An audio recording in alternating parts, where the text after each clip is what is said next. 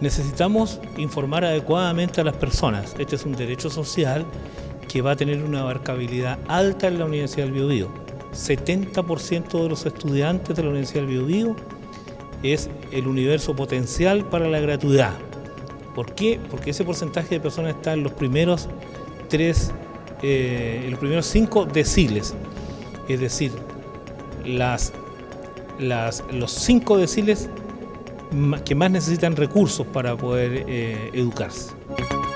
Por lo tanto, yo creo que hay que partir por eh, documentarse frente al tema, que es lo que hemos estado tratando de hacer a través de estos claustros en distintas instancias, entregando la información veraz, efectiva y eficiente que permita que todos los actores involucrados en el contacto con nuestros estudiantes, ya sea por admisión o estudiantes de cursos superiores, como es un rol preponderante que cumplen los directores de escuela, sea con conocimiento, con realidad concreta frente al tema de la gratuidad y sobre las implicancias que esto tiene y no tiene colocar platas públicas para que los estudiantes estudien y que estos no terminen su, su, educación, evidentemente no es una buena inversión y no le brinda rentabilidad al país.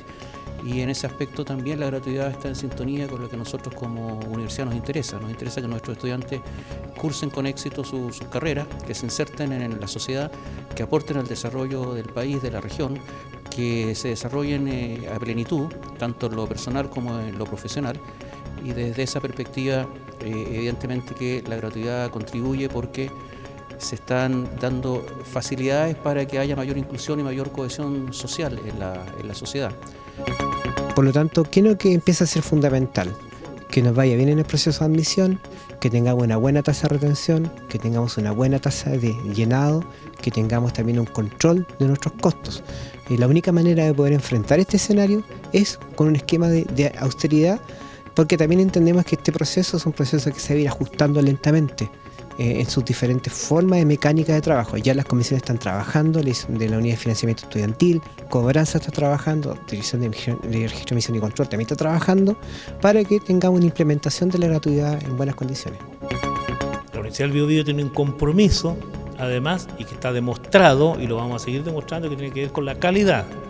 La Universidad del Biobío es una institución de alta calidad está entre las 10 mejores universidades del país, en docencia de pregrado está entre las 6 mejores del país, es una de las 14 universidades que están acreditadas hoy en investigación científica, si estamos hablando de una alternativa de educación superior pública de alta calidad y que va a tener un alto porcentaje de gratuidad.